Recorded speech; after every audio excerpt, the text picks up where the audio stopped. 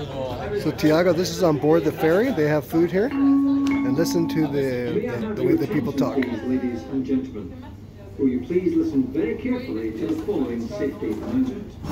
Your attention is drawn to the life jackets, donning instruction notices, and other safety information notices, which are displayed in the various passenger spaces. These notices include the description of the General Assembly alarm signal, the method of donning a life jacket, and the location of assembly stations. An assembly station is an area where passengers should assemble in the event of an emergency.